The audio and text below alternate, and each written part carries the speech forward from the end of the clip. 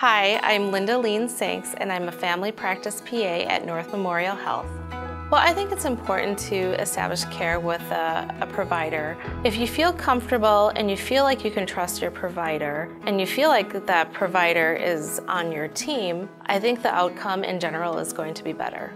A treatment plan isn't always going to be one size fits all.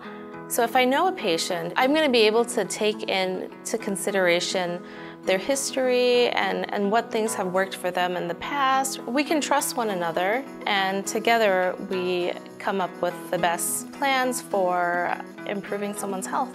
I really enjoy seeing my patients throughout the years and I think they, I'm able to show them that I do care and I want to see them do well and um, become healthier every day.